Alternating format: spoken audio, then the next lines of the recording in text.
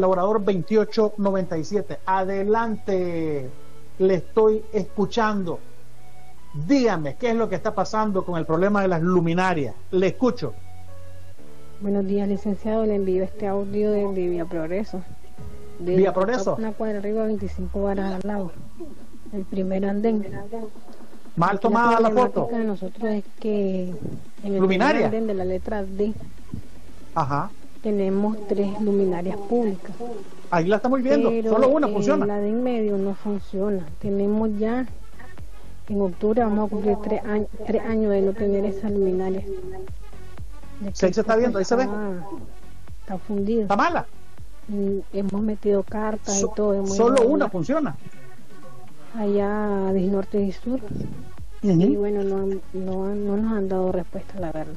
Queríamos saber qué es lo que podíamos hacer.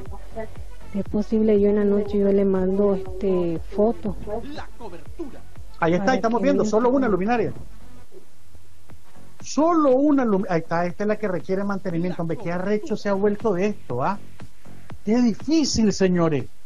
Todo esto de el mantenimiento que tienen que llegar a hacer a las luminarias en los distintos barrios, señores. Y tiene razón ahí mi colaborador 2897. ¿Saben lo que genera el que haga falta una luminaria?